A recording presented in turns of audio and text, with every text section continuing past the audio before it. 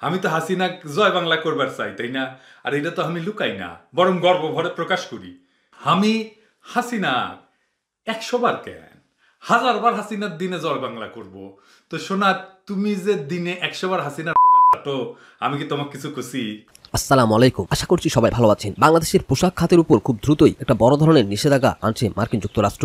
একটা অবৈধ নির্বাচনের আয়োজন করার মাসুল দিতে হবে পুরো দেশের অর্থনৈতিক খাতকে। বাংলাদেশকে অর্থনৈতিকভাবে পঙ্গু করতে শেখ হাসিনার এই অবদানের কথা কেউই বলতে পারবে না। তবে সবচেয়ে বড় কথা হচ্ছে শেখ হাসিনা বাংলাদেশের মাটি থেকে ইসলামের নাম নিশানা মুছে ফেলার চেষ্টা করছে। আলেম ওলামাদেরকে হত্যা, গুম, নির্যাতন সহ এমন কোনো নির্যাতন বাকি নেই যে সে এই দেশের ইসলামের উপর করছে না। তো যাই হোক বন্ধুরা, চলুন মূল খবরে ফিরে যায় দেশে পাশাপাশি একজন একজন ব্যবসায়ী পাঁচশো পঁচানব্বই টাকা অনায়াসে বিক্রি করতে পারল। তুমি ছয়শো টাকাতেও বিক্রি করতে পারবা না।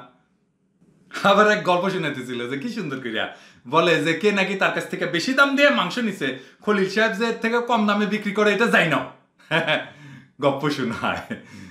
কারণ হিসেবে নাকি বলেছে যে, এই বুইরার মাংস বেশি স্বাদ আমি জানি ওর গোয়ার মাংসের স্বাদ বেশি। কুত্তা কাইটে খাওয়ালে না, গোয়া- কুত্তা খুশি হবি। চিন্তা করিছেন। কীরকম খাইসটা খাইসটা মানে দাম বাড়াবার লাগি দল, বল, মিয়া, ভোক্তা অধিকারে ঢুকিছে। আবার রেডিমেড গল্প সহ হ্যাঁ? আচ্ছা এইবার তাইলে আমি আমার ক্ষুদ্র ভ্রাতার ভগ্নীদের একটা হিসাব দেখাই।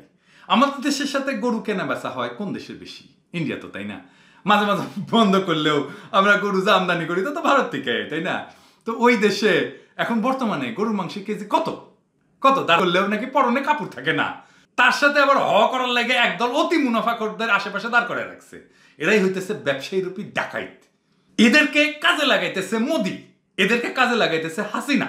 এদের অতিরিক্ত মুনাফাও হবে, বাংলাদেশের মানুষ গরু খাওয়াও ভুলবি। বাহ, দুই মজা। এক ঢিলে দুই পাখি। তাহলে বুঝেছেন তো কীভাবে চাপা মাইর দিতেছে?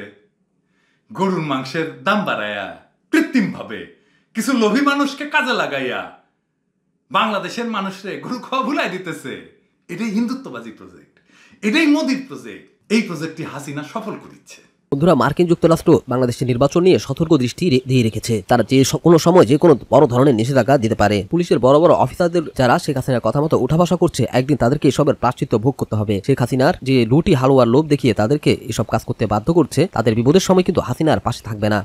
দর্শক অতি লোভে তাঁতি নষ্ট আমরা সবাই জানি। এবং এই সেই তাঁতি নষ্ট হচ্ছে এইসব বেঈমানদের। এবং এই যে নব্য বেঈমানদের যে অতি লোভে তাঁতি নষ্ট হল তা তো আলাপ করবোই কিন্তু তার আগে একটু পুরাতন বেঈমানদের খবর একটু দেখি।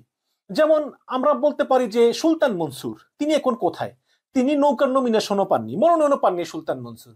সুলতান মনসুর, যিনি কিনা নির্বাচনের সময় বেগম খালেদা জিয়ার অত্যন্ত প্রশংসা করে, জিয়াউর রহমানের আদর্শ অনুসরণ করে, তিনি ধানের শীষ মার্কা নিয়ে প্রতিদ্বন্দ্বিতা করে তিনি এমপি হয়েছেন। এমপি হওয়ার পরই তিনি বলেছেন যে না, আমি তো এ বিএনপি করিনি। আমি কামাল হোসেন সাহেবের সঙ্গে ছিলাম। তারপর উনি আবার আওয়ামী লীগের সঙ্গে, দরহম, মরহম, শেখ হাসিনার সঙ্গে দেখা, কত কিছু। তারপরে উনি প্রতীকী পেলেন না। আরেকটা হচ্ছে এই যে আমাদের উকিল আব্দুল সাত্তার। বেচারা অনেক সম্মানিত ছিল। ধানের শীষ নিয়ে তিনি এমপি হয়েছেন। তিনি বিএনপির মন্ত্রী ছিলেন এমপি ছিলেন। আল্লাহ রহমত একটা সম্মানিত জীবনযাপন করেছেন। কিন্তু মৃত্যুর তিন মাস আগে তিনি তার ছেলের কুপ্ররোচনায় তিনি করলেন কি? তিনি স্বতন্ত্র দাঁড়ি তো পুকুর চুরি হয়ে যায়। এই কারণে শেখ হাসিনা কত না স্বতন্ত্রকে আমরা বাদ দিতে পারব না। স্বতন্ত্র থাকবেই।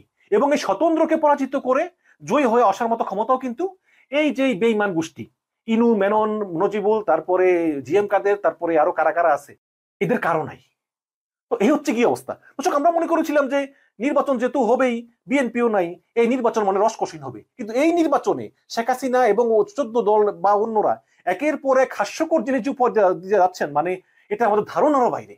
মানে এটা কোন ধরনের পলিটিক্স আমার মনে হয় পৃথিবীর যত বড় বড় রাষ্ট্রবিজ্ঞানী আছে, তারা কেউই এই ধরনের গণতন্ত্র দেখে নাই। এই শেখ হাসিনার এই গণতন্ত্র নিয়ে কিন্তু অনেকগুলো বই লেখা হতে পারে, অনেকগুলো রিসার্চ হতে পারে, অনেকে কিন্তু এখানে থেকে পিএইচডিও লাভ করতে পারে। তো এই কারণেই বললাম দর্শক যে, আপনি বেমানি করবেন আর যাই করবেন, আপনি কিন্তু জাতি মেনে নিবে না। আপনি দেখবেন এই যে নব্য আরেক বেইমান শাহজাহান ওমর, তিনি হঠাৎ করে জেলখানা থেকে এসে বললেন যে, জিয়া রাজনীতির তুলনায় মুজিবের রাজনীতি ভালো ভালো কথা। জেলখানায় গিয়ে আপনি বুঝলেন। তো তিনি সরাসরি গিয়ে শেখ হাসিনার সঙ্গে দেখা করলেন, শেখ হাসিনা তাকে নৌকা দিয়ে দিলেন। এখন যেই আসনে নৌকার প্রার্থী ছিল, আগে এমপি ছিল বিএইচ হারুন সাহেব, হারুন সাহেবের মানে কষ্ট হয়নি? অবশ্যই কষ্ট হয়েছে।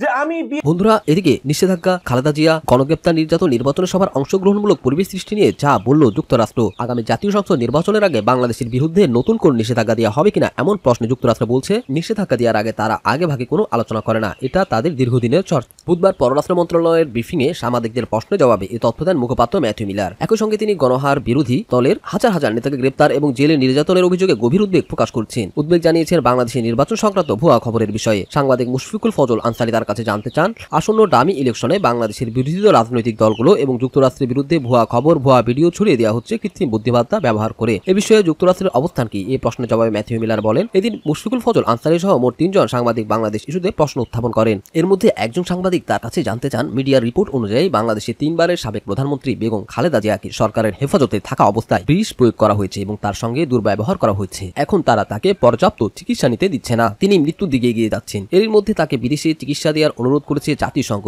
একই অনুরোধে জানানোর কোনো পরিকল্পনা কি যুক্তরাষ্ট্রে আছে? এই প্রশ্নের জবাবে ম্যাথিউ মিলার বলেন, আমি এই প্রশ্নটি নিচ্ছি এবং এর উত্তর জানার চেষ্টা করব। ম্যাথিউ মিলারের কাছে মুশফিকুল ফজল আনসারি বাংলাদেশ ও শ্রীলঙ্কা সম্পর্কে প্রশ্ন করেন। তিনি জানতে চান, ফিনান্সিয়াল টাইমসের এক প্রতিবেদনে বলা হয়েছে, বাংলাদেশে প্রধানমন্ত্রী শেখ হাসিনার সরকার কৃত্রিম বুদ্ধিমত্তা ব্যবহার করে আসন্ন ডামি ইলেকশনের প্রেক্ষাপটে যুক্তরাষ্ট্র ও বাংলাদেশের বিরোধী রাজনৈতিক দলগুলোর বিরুদ্ধে ভুয়া খবর ও ভুয়া ভিডিওর মাধ্যমে প্রভাকাণ্ডামূলক প্রচারণা চালানোর পরিকল্পনা নিয়েছে। এ বিষয়ে পররাষ্ট্র মন্ত্রণালয়ের অবস্থান কি? অনুগ্রহ করে কি আমাদের সঙ্গে শেয়ার করবেন। জবাবে ম্যাথিউ মিলার বলেন বাংলাদেশের নির্বাচন সংক্রান্ত ভুয়া তথ্যমূলক, উদ্বেগজনক ডিপে খবর দেখেছি। এটি হচ্ছে কৃত্রিম বুদ্ধিমত্তা ব্যবহার করে বিশ্বজুড়ে গণতান্ত্রিক প্রক্রিয়াকে কৌশলে বসে আনা এবং প্রভাবিত করার উদ্বেগজনক প্রবণতার অংশ।